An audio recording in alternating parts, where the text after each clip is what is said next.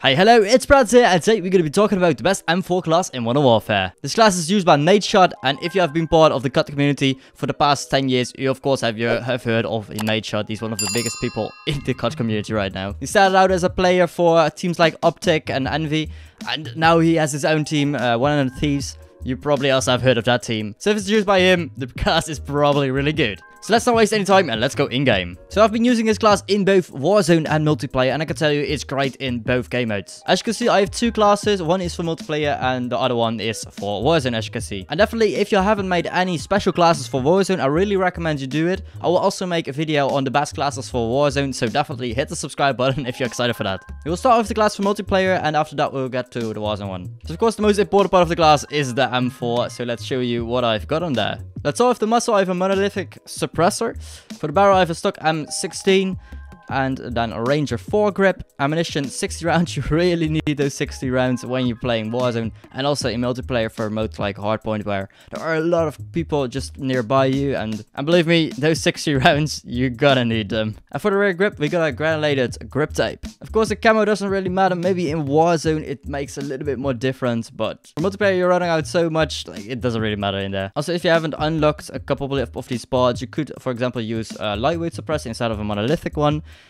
As you can see, it yeah, the range is a lot better with the monolithic one, but you should be fine with the lightweight one. Instead of the Ranger foregrip, you could use the Merc one. It's also a pretty good one. And of course, if you haven't unlocked the 60 mag, you could also use the 50 mag. Also, if you really want an optic, I think the iron sights are pretty fine, but you could also switch out the ammunition for an optic or, or maybe you could change the barrel. But as always, you really need to try it out for yourself and get a feel for what you like the most. As you can see, the range is a lot better. Also, the accuracy is a lot better. It's almost just a laser beam. As you can see, we took a lot of the mobility away, so you won't be running around with this one. But if you're going for high kill streak matches or you're playing in Warzone, of course you won't be running around that much because you need to be a little bit more uh, careful with what you do. And for the sidearm, I'm using the Renetti. And if you look at the Renetti, the mobility is super high. So for example, if you're playing hardpoint and you need to rotate, you can just switch your Renetti and then you can just run around.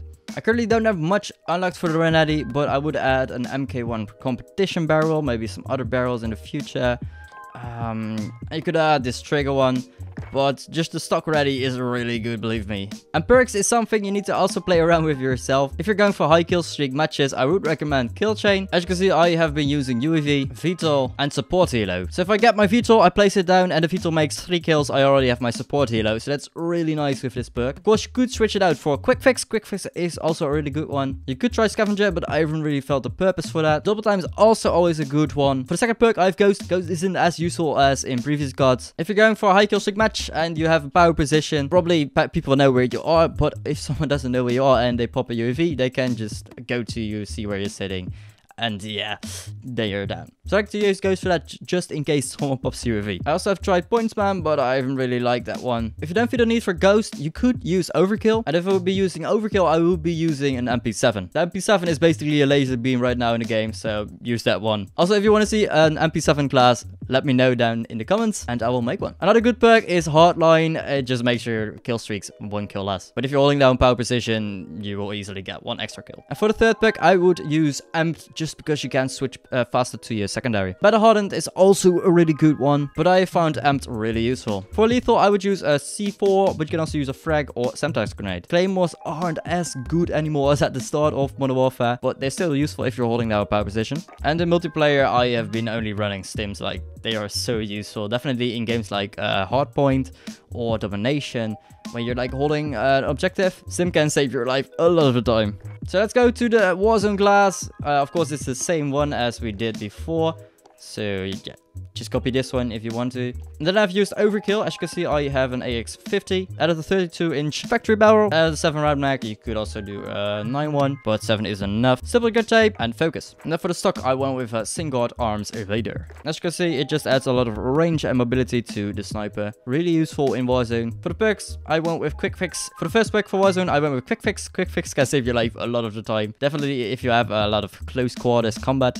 Then as I said, overkill. And a quick tip for Warzone, if you get your first loadout drop, get the overkill class. And if you buy a second loadout drop or you find one on the map, select your ghost class. This makes it that people can't see you on a UAV because UAVs are really OP in Warzone. And then again, I used amped just because you can switch faster to your secondary weapon. And then as I said in Warzone, if you have these close quarters battles, you really want to be fast and you want to have quick fix just to get some extra health back and you want to have amped just so you can switch faster to your secondary weapon. Because a couple milliseconds can make the difference between winning or losing. And then again, as in the multiplayer class, I use C4. You could again go for a frag or a Semtex. A thermite might also be good for Warzone, but if you down someone and you're close to them, you could just pop a C4 and kill their team. And then a big difference to the multiplayer class, I use a heartbeat sensor instead of a stim. A stim could also be useful in Warzone, but these heartbeat sensors are so OP. Definitely solos, you need to be using a heartbeat sensor. I'll also be making a Warzone tips video, so stay tuned for that. So in my opinion, this is definitely the best M4 class in the game right now. And I will show you some gameplay with this M4 so you can see how good it is. And if you enjoy these class videos, definitely hit the like button and comment what weapon you want to see next. Also, by liking and commenting, you help me out with the YouTube algorithm, so my video will be higher and a lot more people will see this video. So if you could do that, that would help me a lot. Enjoy the gameplay and I will see you in the next video. Nee, zit boven. Kijk UV's. Pijltjes staan naar boven. Pijltjes staan boven. Oh hier, bij mij. Ik heb down, ik heb één down. Nice.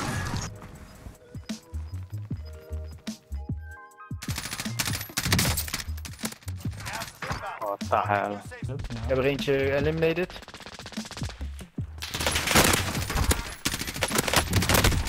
Yo, let's go! Team wiped. Er zit er nog één als het goed is. Oh, Waar ben jij? Ja? Dus- Ja, daar, daar komt daar, loopt daar.